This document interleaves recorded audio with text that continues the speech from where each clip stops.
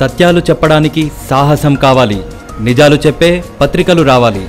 చదవండి metro evening. Golconda news special ఫోకస్కి స్వాగతం.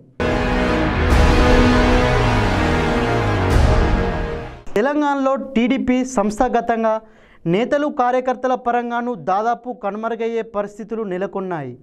రెండు వేల పద్నాలుగుకి ముందు తెలంగాణ పట్ల టీడీపీ అధినేత చంద్రబాబు అనుసరించిన తీరు రెండు వేల పదిహేనులో ఓటుకు నోటు కేసులో బహిరంగంగా పట్టుబడి విజయవాడకు తరలిపోయిన తర్వాత తెలంగాణలో పార్టీ గురించి పట్టించుకున్న నాథుడే కరువయ్యాడు.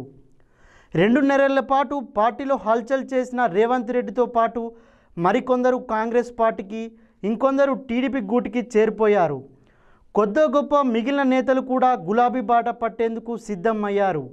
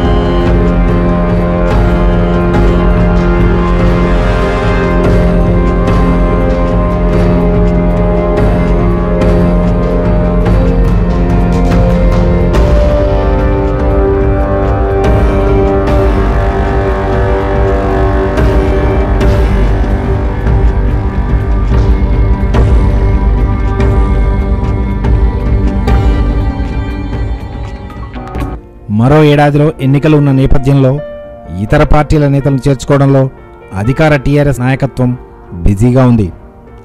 గులాబీ పార్టీ బాట పట్టేందుకు సీనియర్లు సిద్ధం. ఇప్పటికే పలువురు టీడీపీ నేతలు టీఆర్ఎస్ గూటికి చేరారు.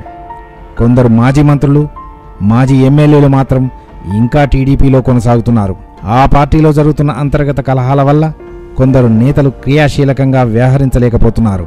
టీడీపీ రాజకీయం అంతా కేవలం ఇద్దరు ముగ్గురు నేతల చుట్టూ తిరుగుతుండడం పార్టీ అధినేత చంద్రబాబు ఇక్కడి వ్యవహారాలను అంతగా పట్టించుకోకపోవడం రానున్న ఎన్నికల్లో నా మాత్ర పోటీ కూడా ఇవ్వలేమన్న అభిప్రాయం బలపడటంతో పలువురు సీనియర్లు బయటకు వచ్చే ప్రయత్నాలు షురూ చేశారని చెబుతున్నారు. ఇప్పటికే టీఆర్ఎస్లో ఉన్న మాజీ టీడీపీ నేతల సాయంతో తమ చేరికలకు రంగం సిద్ధం చేసుకుంటున్నారని అధికార పార్టీ టీఆర్ఎస్ వర్గాలు చెబుతున్నాయి. ఇతర పార్టీల నేతల సీనియారిటీ పరిగణలోకి తీసుకొని వాస్తవానికి రెండు మూడు నెలలుగా టీఆర్ఎస్ గూటికి చేరే టీడీపీ నేతల సంఖ్య పెరిగింది. నియోజకవర్గ స్థాయి నేతలు టీఆర్ఎస్లోకి వరుస కట్టారు. అదే కోవలో మరికొందరు చేరికలకు కేసీఆర్ గ్రీన్ సిగ్నల్ ఇచ్చారని సమాచారం. కొన్ని సామాజిక వర్గాల ఓట్ల కోసం ఆయా వర్గాల నేతలపై కన్నేసిన టీఆర్ఎస్ నాయకత్వం సంబంధిత నేతల రికార్డు సీనియారిటీని పరిగణలోకి తీసుకుంటుందని చెబుతున్నారు. దీనిలో భాగంగానే మాజీ మంత్రి ఉమామాధవరెడ్డి చేరిక జరిగిందని ఉదాహరిస్తున్నారు. పంతొమ్మిది వందల ఎనభై మూడు నుంచి టీడీపీలో కీలక పాత్ర పోషించిన మండవ వెంకటేశ్వరరావు టీఆర్ఎస్లోకి చేరడం దాదాపు ఖాయమైందని టీఆర్ఎస్ పార్టీ వర్గాల నుంచి ద్వారా అందుతున్న సమాచారం. ఆయన్ను టీఆర్ఎస్కు తీసుకొచ్చే బాధ్యతను ఒక మంత్రి తీసుకున్నారని చేరిక ముహూర్తమే ఖరారు కావాల్సి ఉందంటున్నారు. మండవ చేరికతో పాత నిజామాబాద్ జిల్లాలోని కొన్ని నియోజకవర్గాల్లో పార్టీకి లాభిస్తుందని చెబుతున్నారు. సార్వత్రిక ఎన్నికల్లో పోటీ చేయడానికి నియోజకవర్గం కేటాయించాలా? లేక ఇతరత్రా అవకాశం కల్పించాలా? అన్న విషయంపైనే చర్చ జరుగుతోందని సమాచారం. మండవ గతంలో డిచ్పల్లి అసెంబ్లీ స్థానం నుంచి ప్రాతినిధ్యం వహించగా ఇప్పుడది నిజామాబాద్ రూరల్ నియోజకవర్గంగా ఆవిర్భవించింది. టీడీపీ ఆవిర్భావం నుంచి నిజామాబాద్ జిల్లాలో క్రియాశీలకంగా వ్యవహరించిన మండవ వెంకటేశ్వరరావు ఆ పార్టీకి వెన్నుదన్నుగా నిలిచారు. రెండు వేల నాలుగు వరకు మంత్రిగా గంగారెడ్డితో విభేదాలు ఇలా. పంతొమ్మిది వందల తొంభై నాలుగులో ఎన్టీఆర్ క్యాబినెట్లో మంత్రి తర్వాత పంతొమ్మిది వందల తొంభై ఐదు నుంచి రెండు వేల నాలుగు వరకు చంద్రబాబు క్యాబినెట్ క్యాబినెట్లో పనిచేసిన మండవ వెంకటేశ్వరరావు నిజామాబాద్ జిల్లా వాసులందరికీ కొట్టిన పిండి. కారణాలు ఏమైనా పంతొమ్మిది వందల తొంభై తొమ్మిది ఎన్నికల్లో నిజామాబాద్ లోక్సభ స్థానం నుంచి టీడీపీ తరఫున గెలుపొందిన గంగారెడ్డికి మండ వెంకటేశ్వరరావుతో విభేదాలు వచ్చాయి. ఇద్దరూ ఒకే పార్టీలో కొనసాగే పరిస్థితులు లేవు. దీంతో రెండు వేల నాలుగు ఎన్నికలకు ముందే టీఆర్ఎస్లో పార్టీలో చేరి చేరిన గంగారెడ్డి రెండు వేల నాలుగు ఎన్నికల్లో డిచ్పల్లి స్థానం నుంచి పోటీ చేసి మండ వెంకటేశ్వరరావును మట్టి కరిపించి రికార్డు నెలకొల్పారు. నాటి నుంచి రెండు వేల ఎనిమిది రెండు వేల తొమ్మిది రెండు వేల పది రెండు వేల పద్నాలుగు ఎన్నికల్లో ఓటమి పాలైన మండ వెంకటేశ్వరరావు చాలా కాలంగా టీడీపీ క్రియాశీలక రాజకీయాలకు దూరంగా ఉంటున్నారు. ఆర్మూర్ ఎమ్మెల్యేగా పనిచేసిన ఏలేటి అన్నపూర్ణమ్మ కూడా టీడీపీ నుంచి బయటకు రావాలని నిర్ణయించుకున్నారని టీఆర్ఎస్ నాయకత్వంతో చర్చలు కూడా జరిపారని సమాచారం. ఆమె బాల్కొండ నియోజకవర్గంలో పోటీ చేసేందుకు అవకాశం కావాలని కోరారని టీఆర్ఎస్ నాయకత్వం సానుకూలంగా స్పందించకపోవడంతో చేరిక ఆలస్యమవుతుందని చెబుతున్నారు. ఆర్మూరు ఎమ్మెల్యేగా పంతొమ్మిది వందల తొంభై నాలుగు ప్రాతినిధ్యం వహించారు.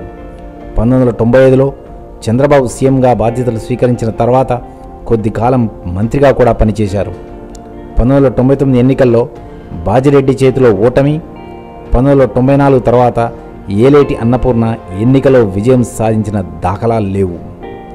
పంతొమ్మిది వందల తొంభై తొమ్మిది ఎన్నికల్లో ప్రస్తుతం నిజామాబాద్ అర్బన్ ఎమ్మెల్యే బాజిరెడ్డి గోవర్ధన్ రెడ్డి కాంగ్రెస్ అభ్యర్థిగా పోటీ చేసి అన్నపూర్ణను ఓడించారు.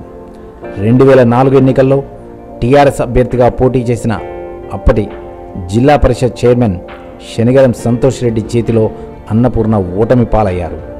మండవ వెంకటేశ్వరరావు అన్నపూర్ణలతో పాటు వరంగల్ దక్షిణ తెలంగాణలోని నల్గొండ మహబూబ్నగర్ జిల్లాలో కూడా కొందరు టీడీపీ నేతలు టీఆర్ఎస్ వైపు చూస్తున్నారని సమాచారం.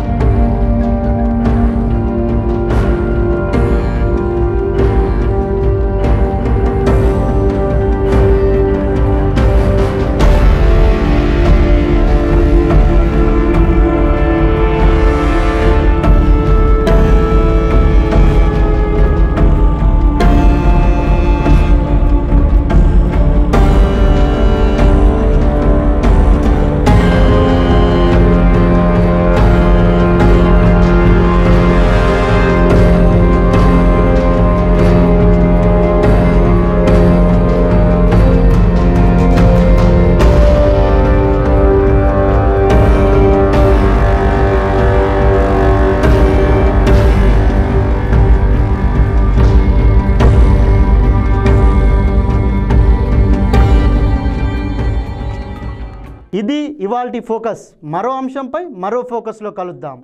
కీప్ వాచింగ్ గోల్కొండ న్యూస్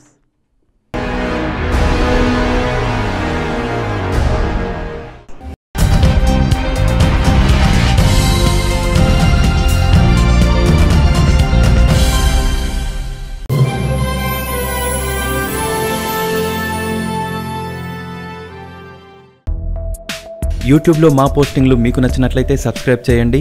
మీ మిత్రులతో కూడా చేయించండి.